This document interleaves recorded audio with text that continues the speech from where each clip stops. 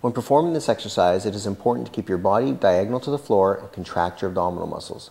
Go all the way down until your chest is one to two inches from the bench. Go all the way up. Try not to overextend your elbows. Great job, Ellie.